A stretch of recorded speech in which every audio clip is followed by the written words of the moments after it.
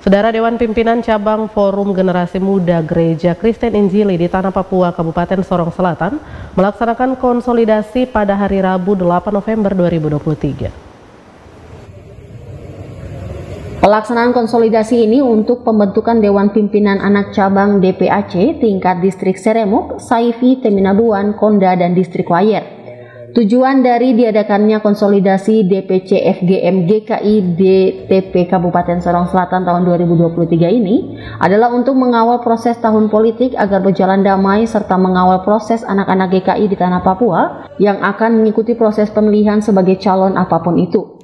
Ketua Klasis GKI Teminabuan Pendeta Timotius Sagisolo saat membuka kegiatan menyampaikan bahwa FGM GKI di Tanah Papua merupakan salah satu organisasi pemuda yang resmi terdaftar di Kesbang Polseru Tanah Papua dan mempunyai tanggung jawab dalam berbagai aspek permasalahan sosial, politik, budaya, pendidikan, dan kesehatan. Ketua Klasis GKI Teminabuan menambahkan, menjelang tahun politik agar semua lapisan masyarakat Sorong Selatan untuk menjaga Kamtimas agar berjalan damai dan baik. Selain itu, Ketua DPC FGM GKI di Tanah Papua Justus Kaliele menyampaikan, dikumpulkan seluruh pengurus inti dari Badan Pelayanan PAM tingkat jemaat seklasis GKI Teminabuan ini untuk mengikuti pembekalan serta pemilihan pengurus DPAC FGM GKI DTP tingkat distrik.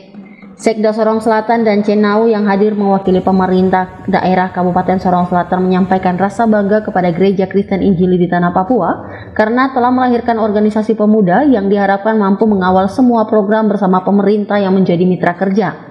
Dirinya berpesan agar kegiatan ini mampu mendapat kaderisasi keberlanjutan demi masa depan GKI DTP dan Pemkap Sorong Selatan.